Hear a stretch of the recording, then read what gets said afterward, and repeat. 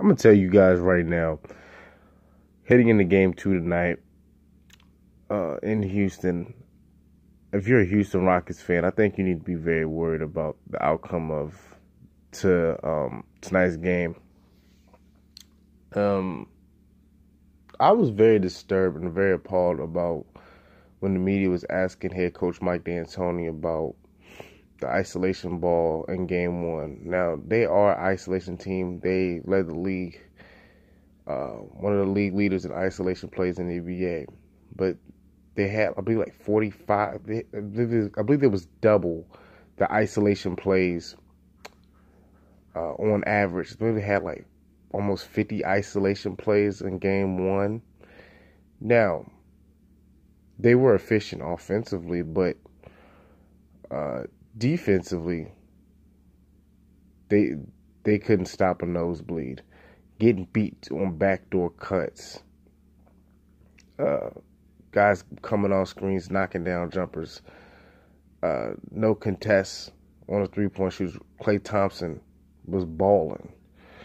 Kevin Durant does what Kevin Durant does. Wherever he gets on the floor, he gets there and he pulls up, and there's nothing you can do about it. He's shooting over anybody and he's getting to his spots.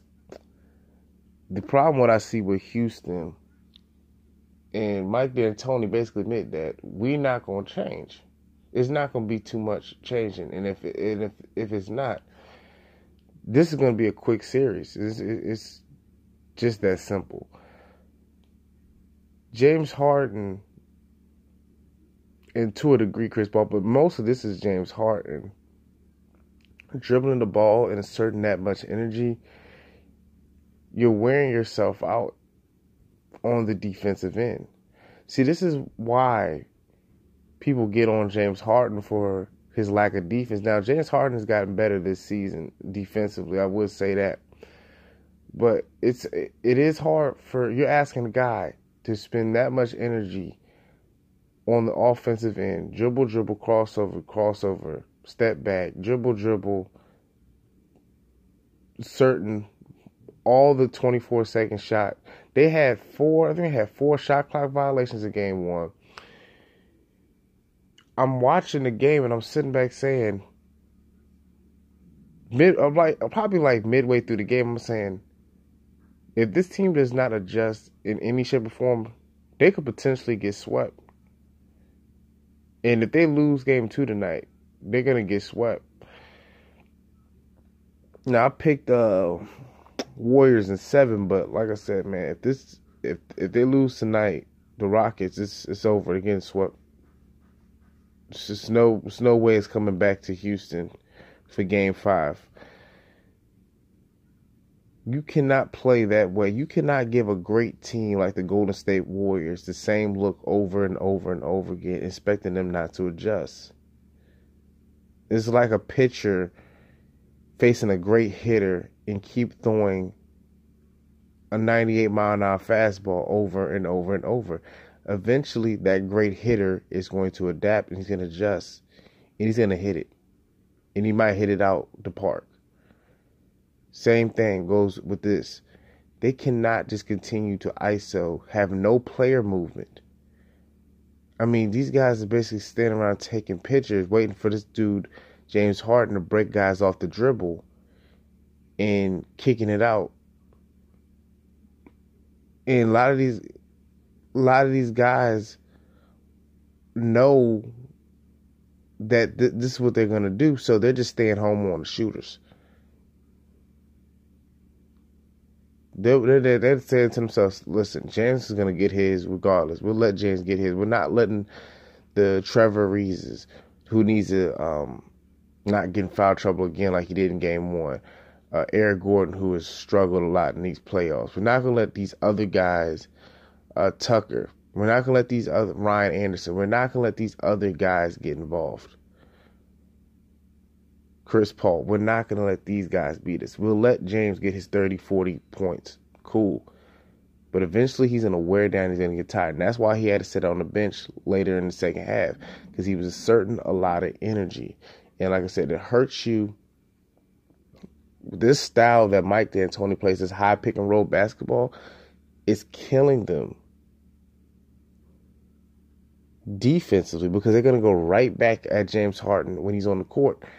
Certain all that energy, possession and possession out, they're to go right at him defensively, and that's what Golden State Warriors did, man.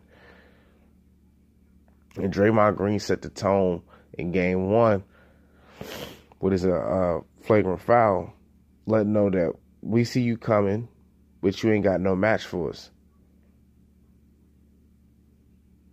Now, I feel like the the Houston Rockets they need to play Chris Paul more uh, on the ball more, have him handle the ball a little bit more in game one. I mean game two, excuse me. They're gonna need to get these other guys involved and make them feel more a part of the team. That is very important in basketball. I'm telling you guys, man. When you've got guys standing around watching, taking photos, I mean, I know people say, well, it shouldn't affect your play on the other end. I'm telling you, a lot of times it does.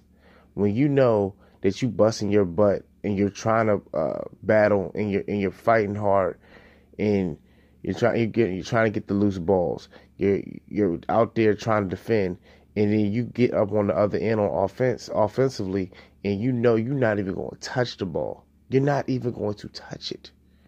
That's why they all have that old saying: when a big man plays well defensively and he runs up down that floor and he's in transition, feed that big man that ball, reward him. And another thing about speaking of fast breaks, they didn't get no kind of fast breaks looks at all. It was all half court.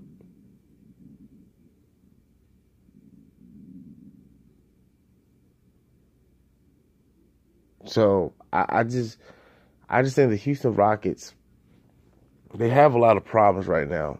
And it's just very discouraging that the head coach flat out said, Oh, we are who we are. This is why Mike D'Antoni hasn't won anything as a head coach. Yes, he's had uh, great teams in the past, those Phoenix Suns teams, when they had Nash, Amar'e Stoudemire, uh, Shawn Marion, Joe Johnson, uh, Barbosa. That uh, high pick and roll, fast up tempo style, but his offense hasn't. His offensive strategy hasn't adjusted. It hasn't. I mean, you can win you some regular season games. It might it, it might get you past the first round, maybe even the second round, but eventually when you face those upper echelon teams, those teams that know how to adjust, and those teams that can beat you multitude of ways, Mike D'Antoni has shown that he has no answer for teams like that. So, in my opinion, if they lose, especially if they especially if they get swept, I think the Houston Rockets they need to make a head coaching change because they they're going all in on Golden State. They made it clear.